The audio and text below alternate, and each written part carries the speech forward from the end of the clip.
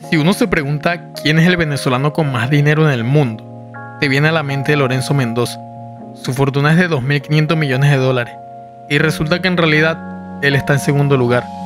El venezolano con más dinero es Juan Carlos Escoter Rodríguez, nada más y nada menos que el fundador de Banesco, siendo primero con una fortuna de 3.500 millones de dólares y a su vez es el único venezolano que sale en la revista Forbes. ¿Tú crees que algún día otro venezolano pueda superarlo?